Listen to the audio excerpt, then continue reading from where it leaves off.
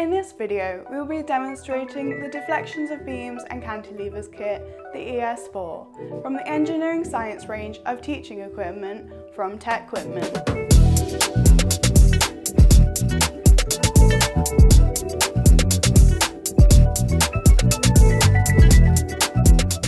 The ES4 kit helps you understand the factors that affect deflection in beams under load and their importance to scientists and engineers. But what are beams, cantilevers and deflection? A beam is a type of structure that's purpose is to support a load. A cantilever is simply a particular application of a beam you will see. In the real world, a structure like a bridge needs to be strong enough to support the load placed upon it, like cars or people, and not break, but it also has to be stable to function, so no wobbles. This is deflection. By using the deflection of a beam and cantilever kit, the ES4, you will perform the five experiments and learn that there are five main factors that affect how much a beam will deflect. The load, the material of the beam, the beam cross-section dimensions, the type of support and its fixing conditions, and the span or length of the beam.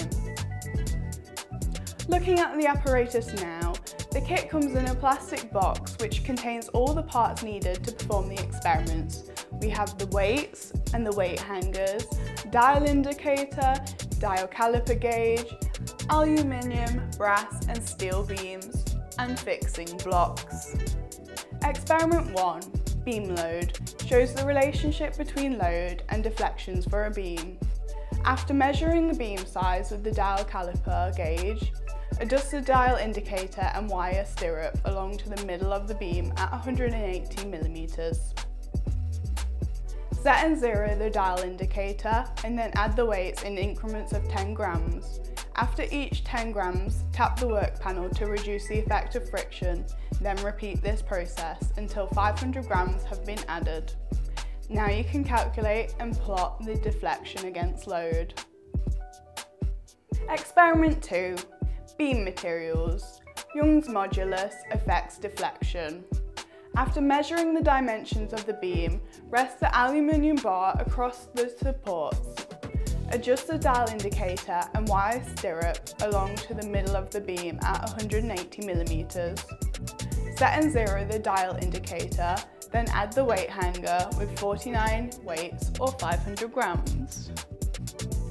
Tap the work panel to reduce the effect of friction and repeat this with the brass and steel beams and perform the necessary calculations. Experiment 3, Beam Dimensions, shows how beam dimensions affect deflection. Experiment 4, Beam Supports, to find the K value for fixed, simple and propped cantilever beams. Experiment 5, Beam Length, shows the relationship between beam length and deflection.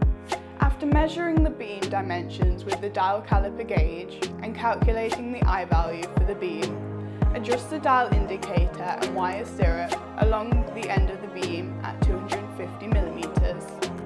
Set and zero the dial indicator and then add the weight hanger with 49 weights or 500 grams.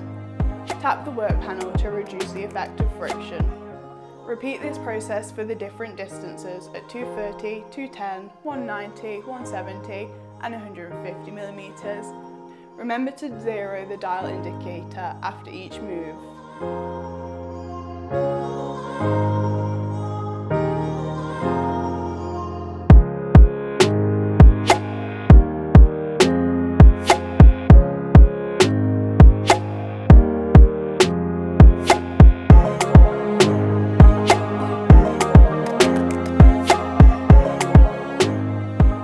That's it for this video, so why not check out our other engineering science videos or find out more about the deflections of beam and cantilever kit, the ES4, with the links below.